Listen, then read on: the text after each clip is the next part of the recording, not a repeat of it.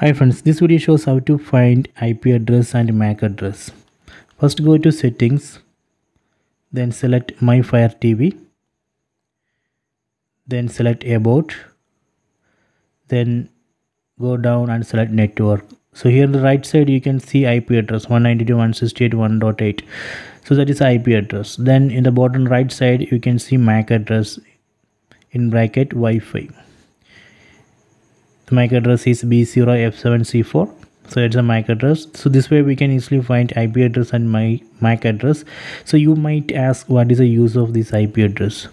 So we can use this IP address to transfer files between TV and mobile phone. You can install one file transfer app in mobile phone. Then you can connect that mobile phone and TV to same Wi-Fi network.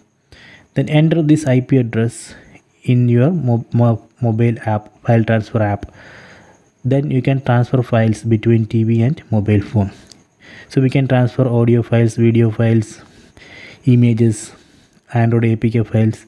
We can transfer any files. So that is a one use case of uh, this ip address. Okay